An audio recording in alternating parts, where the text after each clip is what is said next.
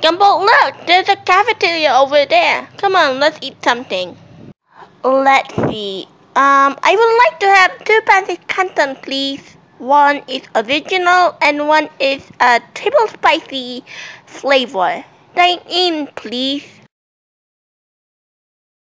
Mmm, not bad. Mm. This is so yummy, Gumball. Mmm, yum. So, how does it taste like? wow, your style looks like a dragon. Sorry, Gumball. Here, drink some water. Sorry.